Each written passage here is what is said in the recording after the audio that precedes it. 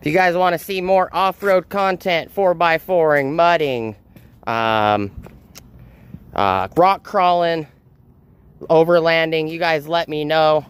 Um, shorts, you know, I'll do regular videos. You know, I just haven't really thought about bringing a camera when I go off-roading, but I actually had to tow a 2020 Silverado 4x4 out of two and a half, three foot worth of mud in certain places, and uh, she got really muddy.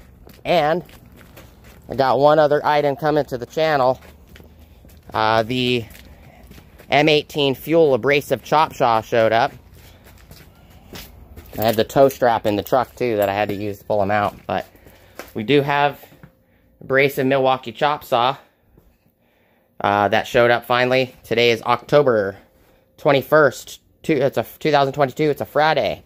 So like, comment, and subscribe.